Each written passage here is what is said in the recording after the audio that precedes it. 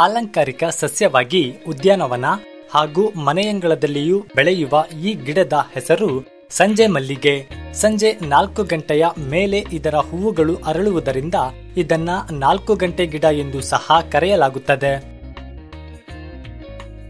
ನೈಟ್ಯಾಜಿನೇಸಿಯೇ ಕುಟುಂಬಕ್ಕೆ ಸೇರಿದ ಈ ಗಿಡದ ವೈಜ್ಞಾನಿಕ ಹೆಸರು ಮಿರಾಬಿಲಿಸ್ ಜಲಪ. ಇದರ ಮೂಲ ದಕ್ಷಿಣ ಅಮೆರಿಕ ಆಗಿದ್ದು ಇಂದು ವಿಶ್ವವ್ಯಾಪಿ ಎಲ್ಲ ಉಷ್ಣವಲಯಗಳಲ್ಲೂ ಸಹ ಕಾಣಸಿಗುತ್ತದೆ. ಸಂಸ್ಕೃತದಲ್ಲಿ ಕೃಷ್ಣಕೇಳಿ ಎಂದು ಕರೆಯುವ ಈ ಸಸ್ಯವನ್ನ ಕನ್ನಡದಲ್ಲಿ ಸಂಜೆ ಮಲ್ಲಿಗೆ ಗುಳಮಾಜಿ ಮದ್ದೆ ಮಲ್ಲಿಗೆ, ನಾಲ್ಕು ಗಂಟೆ ಗಿಡ, ವಿಭೂತಿ ಗಿಡ ಬೂರು ದ್ರಾಕ್ಷಿ ಇತರೆ ಹೆಸರುಗಳಿದ್ದರೆ ಆಂಗ್ಲ ಭಾಷೆಯಲ್ಲಿ four o'clock, beauty of the night, marvel of Peru ಮುಂತಾದ ಹೆಸರುಗಳಿವೆ. ಬಾಳು ಭೂಮಿ ಹಾಗೂ ರಸ್ತೆ ಬದಿಗಳಲ್ಲಿ ಕಂಡುಬರುವ ಸಂಜೆ ಮಲ್ಲಿಗೆ ಸುಮಾರು ನಾಲ್ಕರಿಂದ ಆರು ಅಡಿ ಎತ್ತರಕ್ಕೆ ಬೆಳೆಯಬಲ್ಲ ಸಸ್ಯವಾಗಿದ್ದು, ಹಲವಾರು ಕೌಲುಗಳಾಗಿ ಬೆಳೆಯುವ ಪೊದೆಯಂತೆ ಕಾಣುವ ಸಸ್ಯವಾಗಿದೆ. ಸುಮಾರು ಹತ್ತು ಸೆಂಟಿಮೀಟರ್ ಉದ್ದ ಹಾಗೂ ಏಳು ಸೆಂಟಿಮೀಟರ್ ಅಗಲವಾದ ಹೃದಯಾಕಾರದ ಹಸಿರು ಎಲೆಗಳು ಪರ್ಯಾಯ ಮಾದರಿಯಲ್ಲಿ ಜೋಡಣೆಗೊಂಡಿದ್ದು, ಆರು ಅಡಿ ಉದ್ದದ ಗುಲಾಬಿ ಬಣ್ಣದ ದುಂಡಾದ ಆಕರ್ಷಕವಾದ ಹೂಗಳು ಗೊಂಚಲುಗಳಲ್ಲಿ ಸಮಾವೇಶಗೊಂಡಿರುತ್ತವೆ. ಕರಿಮೆಣಸನ್ನು ಹೋಲುವ ಪುಟ್ಟದಾದ ಕಪ್ಪು ಬೀಜಗಳಿರುತ್ತವೆ.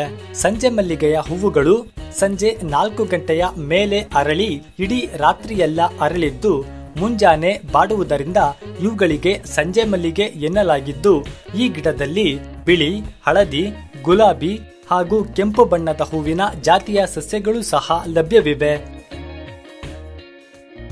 ಸಾಂಪ್ರದಾಯಿಕ ಚಿಕಿತ್ಸಾ ಪದ್ಧತಿಗಳಲ್ಲಿ ಬಳಸಲ್ಪಡುವ ಸಂಜೆ ಮಲ್ಲಿಗೆಯಲ್ಲಿ B sitosterol stigmasterol, ursolic acid, oleanolic acid, brassicasterol, proteins, alkaloids ಮುಂತಾದ ರಾಸಾಯನಿಕ ಸಂಯುಕ್ತಗಳಿದ್ದು ಈ ಗಿಡದ ಬೇರು, ಎಲೆ ಹಾಗೂ ಹೂವುಗಳನ್ನ ಔಷಧೋದ್ದೇಶಗಳಿಗೆ ಬಳಸಲಾಗುತ್ತದೆ. ಈ ಸಸ್ಯದ ಸಾಮಾನ್ಯ ಉಪಯೋಗವೆಂದರೆ ಇದರ ತಾಜಾ ಎಲೆಗಳನ್ನ ಅರೆದು ಗಾಯಗಳಿಗೆ ಹಚ್ಚಬಹುದಾಗಿದ್ದು, ಈ ಪೇಸ್ಟ್ ಅನ್ನ ಚರ್ಮದ ನವೆ ಅಥವಾ ಗಂದೆಗಳ ಮೇಲೂ ಸಹ ಲೇಪಿಸಬಹುದು. ಈ ಎಲೆಗಳನ್ನ ಅರೆದು ಬಿಸಿ ಮಾಡಿ ಕುರು ಹಾಗೂ ಬಾವಿನ ಮೇಲೆ ಪಟ್ಟು ಹಾಕುವುದರಿಂದ ಅವು ಮಾಗಿ ಬೇಗನೆ ಹೊಡೆದು ವಾಸಿಯಾಗುತ್ತವೆ. ಇನ್ನು ಉಗುರು ಸುತ್ತಿನ ತೊಂದರೆಯಲ್ಲಿ ಈ ಗಿಡದ ಎಲೆಗಳನ್ನ ಅಥವಾ ಬೇರನ್ನ ಅರೆದು ಎಳ್ಳೆಣ್ಣೆ ಸೇರಿಸಿ ಬಿಸಿ ಮಾಡಿ ಉಗುರು ಸುತ್ತಾಗಿರುವ ಬೆರಳಿಗೆ ಕೆಲ ದಿನಗಳವರೆಗೆ ಪ್ರತಿದಿನ ಪಟ್ಟು ಹಾಕುವುದರಿಂದ ಉಗುರು ಸುತ್ತು ಉಪಶಮನವಾಗುತ್ತದೆ.